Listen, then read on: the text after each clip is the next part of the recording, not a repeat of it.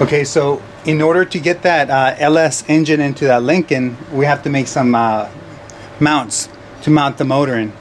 Um, there's a couple different ways of doing it, uh, but the problem with the LS or the challenge with the LS is and the Lincoln is that uh, there's a lot of mounts that have been made for Chevy cars because obviously it's Chevy to Chevy, but there's not that many mounts made for from Chevy to Ford.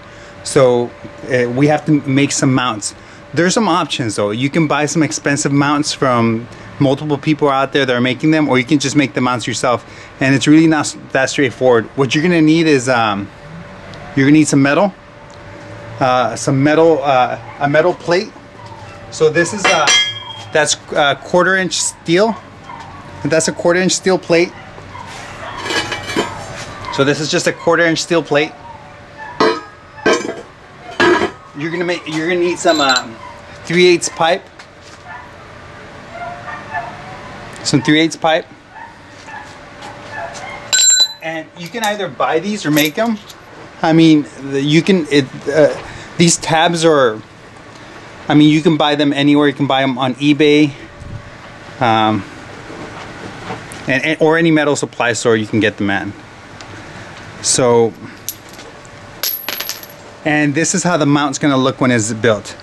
I mean, my welds are not the best, but that's in general, that's the end result. It's not that difficult. Um, you don't have to make this, uh, it, this does not have to be a very complicated job. Um, so to get started, get some gog get some goggles, get your that trusty grinder with a nice cutting wheel, cut-off wheel. Measure out the the 3 8 tube, depending how long you want it, because you're, you're gonna need. You don't want to make it too big because then you won't be able to uh, slide your um, your motor mounts onto it. So just make it enough so it fits. And don't think too much about it. If you think too much about it, you'll never get anything done. Get your get your one glove, slap that thing on, and just get to it. So first thing I'm going to do is cut cut that 3 8 tube and make it look like that mount. So I just need something about that wide.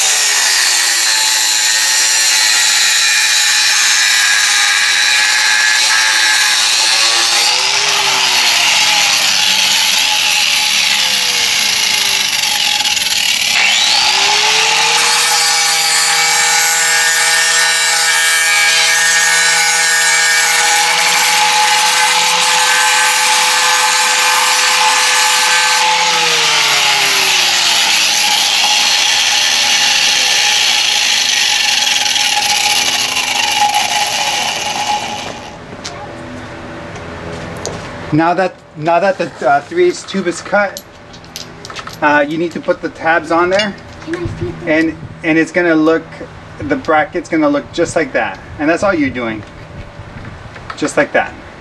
So we need something to support it before we can throw a bead on there. Okay. So we got the we got the tabs. We got the tube that we cut out just put a bolt through there.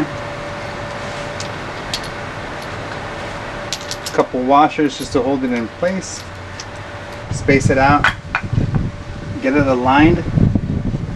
And this is pretty much how it's going to look at the end.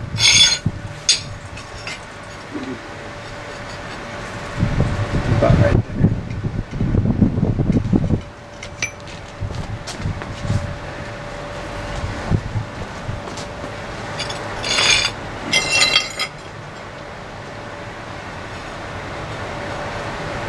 I mean, and this is just one way of doing it.